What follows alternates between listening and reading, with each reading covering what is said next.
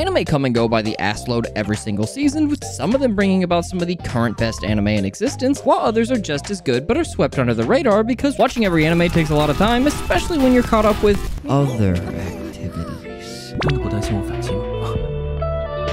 But accomplishing such a feat that consists of having no friends, never seeing sunlight, and pulling no bitches leads you to the real hidden gems, like the current most popular anime. Solo leveling, the thing on the same level of popularity as Kojo Shudori made the anime, is something that's managed to live up to the hype. Despite being very similar to your average power fantasy isekai, its animation, characters, and sheer amount of gore really set it apart from its contemporaries, because it's like really violent. The premise of the series is basic enough with this guy, Sung uh, Wu, uh, Wu, I don't think this is Japanese. something? Becoming an adventurer to help his dying mother and cute sister, except he sucks total ass and can't even beat a goblin. Now, I'm no expert, but he can walk it off. So, after foolishly fucking off to a dungeon with a group of other adventurers, instead of taking this cute girl on a date, everyone we just met dies, which, oh no, who would have seen that coming? And then he's left for dead only to wake up and be told to do the One Punch Man workout or perish. So he perishes. That's right, everyone just died so that he can become Saitama, but that's not all that dissimilar to most isekai we get every season. It's just that the difference here is that the man, uh, ma- mon, yeah, it's definitely not Japanese, has amazing art, causing everyone and their mother to rightfully hype it up. And while the anime doesn't replicate that one to one, its insistence to not use CG really helps to set it apart visually from everything else. And the staff working on the anime play to the strengths of the source material by removing what doesn't work, adding in much needed context rather than info dumping it later, and showing this guy get fucking evaporated.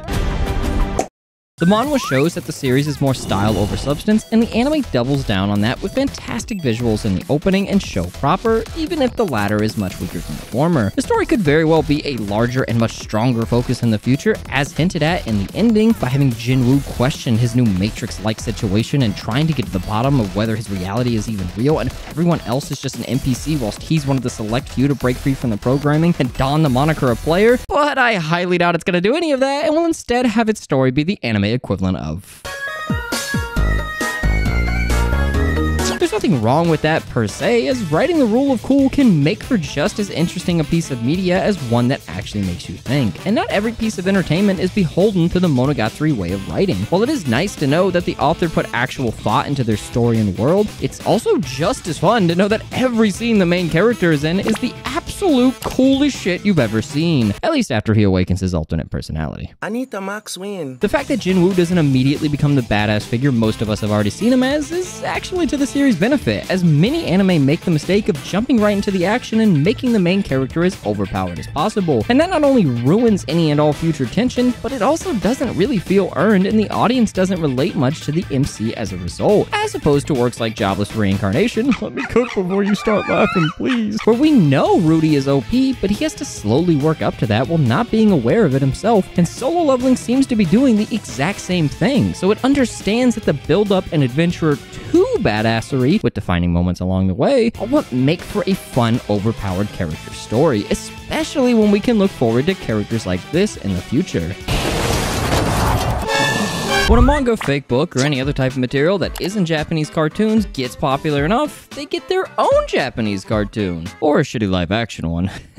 yeah, Avatar's fuck. Dungeon Meshi, also known as Delicious in Dungeon, somehow managed to get an adaptation by the esteemed studio Trigger, of which has been the only adaptation they've ever done for a TV anime, so of course they hired a YouTube editor to make it. While the anime adaptation is definitely not what anyone expected Trigger to do, it's very much in line with their love of shitposting, which sometimes takes the form of entire anime. This has thus led to a bond between source and adaptation like no other, wherein they intrinsically understand the source material and use their talents to help amplify it. By making it look like shit, in all seriousness, while the series does look a bit cheap at times, that's part of the inherent charm of the anime that leans into the lovability and chaoticness of the characters in a similar way to how Konosuba does with its bad animation. On the plot side of things, the entire anime is rather lackadaisical when it comes to anything resembling one, and is a much more character-focused show as a result, especially when considering you can't even cook any of the food. Oh yeah, let me just pop on down to Walmart and ask if they have elf penis. The staff over at Trigger understood this, thus making their decision to have the show look the way it does make even more sense. But they then double down on it as soon as the intro by having the anime start with the majority of the cast fighting for their life in the dungeon against an extremely powerful dragon, only for the main character to go, I'm really.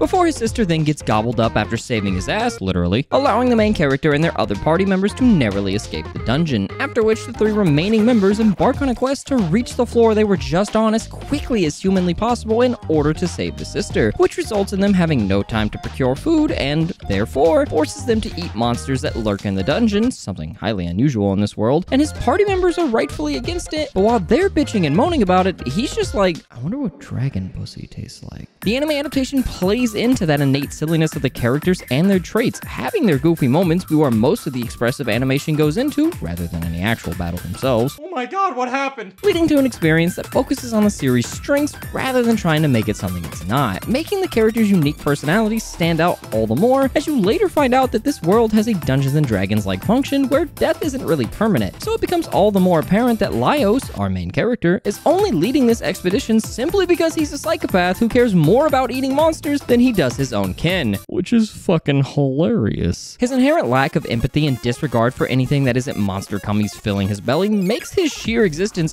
absolutely hysterical, but the other characters are just as fun, with Marcille, the lovable elf, who exists only to be bullied and to which puts her in the race for the best elf this decade. She ain't beating Grandma, being an absolute joy of a character who's both relatable and amusing. And it's through her interactions with Laios and the others that she and the rest of the cast really shine, showcasing how genuine they all are despite their quirks, which is perfectly exemplified in episode 2 when Marcille is getting bullied by monsters while everyone else just watches. And the new dwarf companion does all of the hard work instead, leading to Marcille feeling like she's not being helpful and pulling her own weight, thus forcing herself to leave her comfort zone and try to fetch ingredients on her lonesome, which she immediately fucks up. Oh shit. When Frieren aired, everyone thought it was going to be this slow, sad series about learning to come to terms with mortality, but then Frieren turned out to be an absolute savage. Huh? It simultaneously fooled everyone who watched it and made really cringy videos talking about how sad it was. I don't know who the f would do that. While also raising the bar for the fantasy genre in one fell swoop. With action animation so smooth it's above any of its contemporaries to every element of the anime that comes together so well that it sets a new standard for what the medium is truly capable of. Because there's no other anime that animates ass fabric this well. Which is why you should like the video. It manages to consistently drag you into its world with each passing episode, and it really picks up from its once dour message about mortality after it sets up the plot four episodes in, and becomes more of a fantasy epic with the utmost care put into portraying it, exemplified best not just in the animation, but the lesser, more missable touches that the anime team adds to the production, such as the demons always having soulless eyes, the eye movement of the characters themselves feeling very realistic, Fern telling me the truth, as well as animation and movement matching the voice acting, with the lip flaps themselves being hand drawn throughout the entirety of episode 9. Drawing lip flaps in such a way is not a thing a majority of anime do because it just takes way too much time, but Frieren matches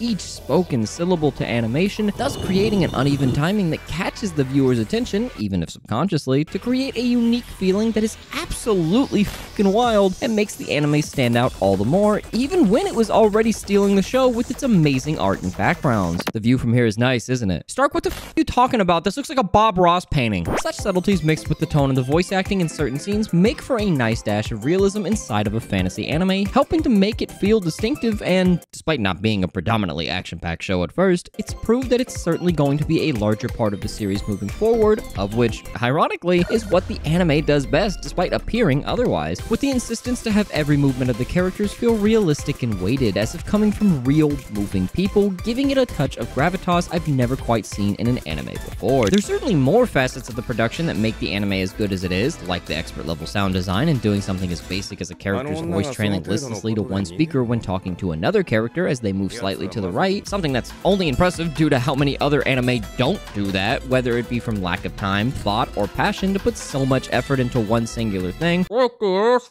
Ultimately, however, while it's all components of the production that make this adaptation as good as it is, it's the writing and visual storytelling that stand out the most, as the two tie together a knot so neat that it encompasses the rest of the anime, transcending it from an adaptation of a pre-existing manga to something worth experiencing on its own right. Nice. When an anime tops the charts and lands the number one spot, that's how you know it's a great one. But when an anime consistently tops six different charts in a row for the first time ever in anime history for several weeks, and is slowly climbing its way up to number one with every passing day, then that's how you know you're dealing with peak fiction.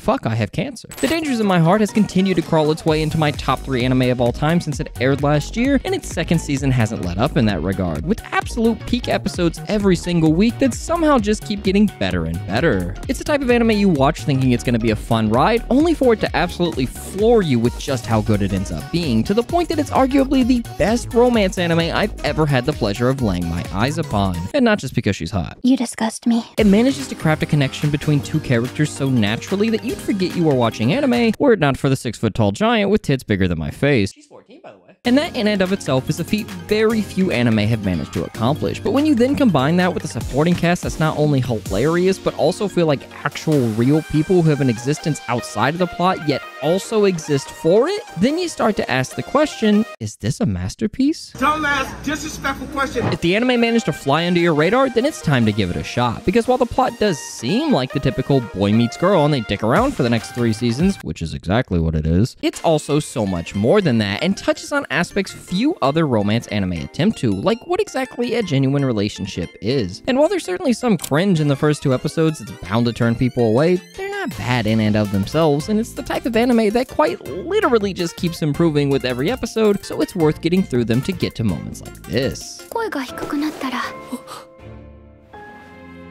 私のこといっぱい読んでね Lord have mercy, I'm about to bust. Unlike most romance anime, though, the story isn't as episodic as it initially seems, and that's what really separates it from its contemporaries, as it never wastes time on filler episodes to prolong the inevitable and instead uses each individual episode to portray new aspects of our two leads, Yamada and Ichikawa, as they learn more about one another and grow together, progressing the plot that is their relationship every single time. Even though I'll never have that.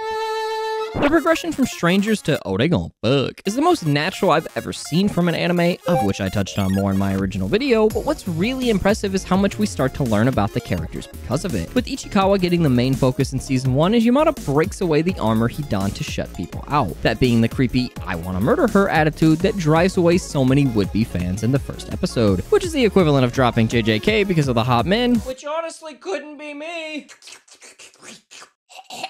Likewise, season 2 is Yamada's time to shine, thus we learn more of her own inferiority complex and how she feels that everyone around her is so much better than her and that she's constantly letting them down no matter how hard she tries. And it's that trait mixed with Ichikawa's own lack of self-confidence that serves to illustrate the fact that they're not only much more alike than they think, which is basically the entire point of season 2, but to also make their relationship feel all the more real. Rather than just being focused on the will they won't they, the anime opts to tackle each lead's interpersonal problems and show how they both help the other to overcome them, whether it be Yamada chipping away at Ichikawa's armor by constantly hanging around him, which you'll never have, or Ichikawa helping Yamada to realize that she has a genuine passion for acting, something she couldn't put into words herself, which not only makes her respect him all the more, but also causes Ichikawa to realize that Yamada isn't Yamada if she isn't always trying to be her best self. So he encourages her to continue when given the choice to run away from it with her, despite it meaning that he has to put himself in uncomfortable situations. God, I wish that were God, me. I wish that were him. Actively helping one another grow is exactly what a genuine relationship is. Two people who share a natural chemistry that are always propping each other up and helping become better versions of themselves because of how much they care for and look up to one another. Feeling like they can't exist without them, literally. And that's what the entire anime drives home, that they genuinely love and depend on each other, to the point where Yamada could confidently say that she had someone else she liked, even in front of Ichikawa, and that's fucking sick cinema. Yamada, she cries at first because it's painful and she feels as though she's not good enough, so Ichikawa may not reciprocate, but they quickly become tears of happiness as soon as the following episode when Ichikawa calls her cute. Oh no, I have. Not only would none of it have been possible without this seemingly random character's existence, but they were also all necessary steps that had to happen before the inevitable confession. And it's things like this that put the writing in a tier all its own, with the payoff to those moments being as good as they are not only because of the lack of fillerish episodes, but also because of the spectacular anime adaptation. 14, by the. The direction and OST specifically knock it out of the park, as the director naturally builds up to those bigger moments while nailing the in between perfectly, whether it be comedic, serious, or romantic, which is extremely impressive considering how tough it is to do just one of those things correctly, let alone balance three very different things so masterfully. And the OST is the cherry on top with just how well it fits the series. It's unassuming and isn't much at first, but it slowly starts to mellow you out in the background while drawing your attention to what's happening on screen, subtly building your emotions to the bigger moments as the tracks themselves swell in intensity and all the facets of the show come together to form a symphony of peak.